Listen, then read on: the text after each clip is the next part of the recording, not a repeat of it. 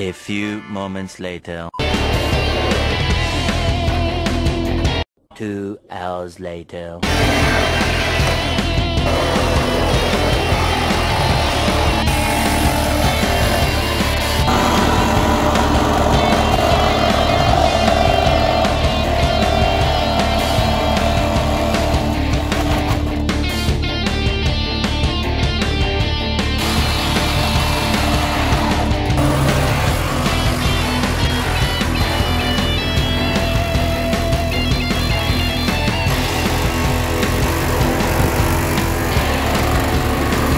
Two thousand years later.